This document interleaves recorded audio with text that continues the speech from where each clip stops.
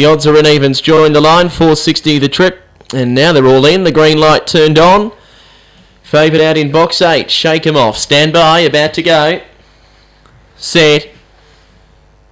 Racing, shake him off, got out well from the outside, straight up to grab the lead over Love Capers, who left quickly, and they're out by three, settling over Lion Rebel, followed getting up on the fence, Implosion Liam. Then Dr. Valhalla, well back now, Dark Avenger, Billy Bubba, and the tail end of Diamond Maxine, shake him off, snuck away, swung the bend two in front, getting up on the rail, Lion Rebel with Love Capers still there, up the straight though, it's shake him off clear by two or three over Love Capers, and shake him off two pacey, two and a half to three lengths over Love Capers. Third the rail Lion Rebel, clear to Dark Avenger. Well back then to Diamond Maxine, Implosion Liam and Dr. Valhalla.